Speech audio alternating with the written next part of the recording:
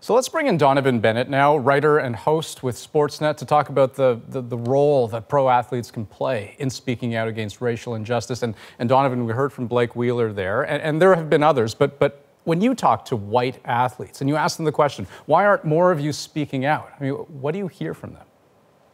Yeah, I hear a lot of, uh, you know, I'm uncomfortable.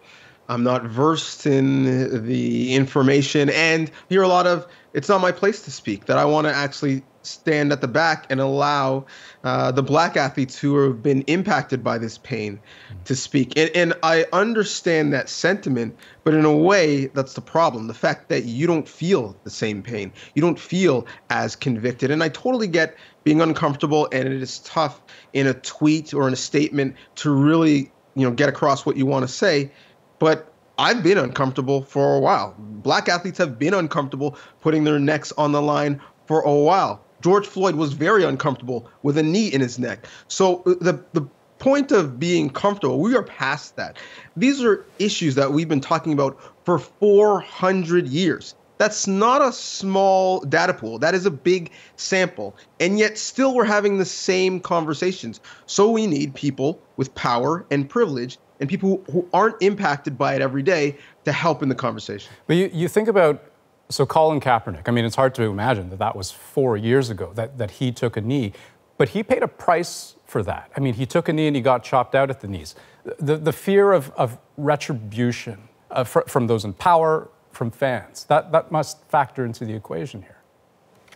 Uh, I mean, I, the, Colin Kaepernick paid that price, but you can't tell me that Peyton Manning or Tom Brady or Drew Brees or Aaron Rodgers – said similar things or even just stood alongside with Colin Kaepernick, gave him a little bit of comfort that their careers would be threatened. I, I, I think, especially in this moment, if big athletes spoke out, not only would people applaud them, but I think some of their corporate sponsors, which they are afraid of jeopardizing, would actually back them. And wouldn't that be a great way for them to use their power and influence to tangibly work with some of their benefactors to help in a way that's even greater than their own power? So athletes do have a lot of power. They have a way to vote with their voice, but they also have a way to vote with the rooms that they're allowed to walk in that people like, frankly, myself or George Floyd or the people protesting on the streets every day don't.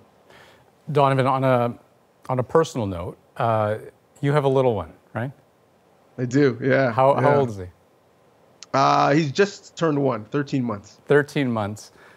He must figure prominently in, in the way that you see all of this. He does. And I can't say why for a lot of people. This specific incident is different, but I can't say why it's different for me. And it's not because I'm at home quarantined with this quarantine beard. It's because when I see the scenes of George Floyd, when I see him prone on the pavement with a knee in his neck for eight plus minutes, screaming that he can't breathe, screaming for his mother, I, I don't see myself in those scenes anymore. I see my young son. And it breaks me to think that one day Martin Luther King's dream may not be realized in concert with my son, that he won't be judged by the content of his character and the values I'm trying to raise him with. He's going to be judged by the color of his skin. So, me as a father trying to protect him, at what point do I rob him of his innocence? Rob him of the fact that he loves to come up and give me big, wet kisses and he loves to laugh when we're on walks and look at leaves? When do I rob him of of his innocence and let him know that this world that he's in is not fair, that he's going to have to work twice as hard to get half. And even when he does that, sometimes, sometimes it's going to have terrible consequences. And when I look at George Floyd, every single time I think of my son. Donnovan, I truly appreciate every opportunity I get to listen to you. Thank you so much for your time. Likewise. Thank you for having this conversation.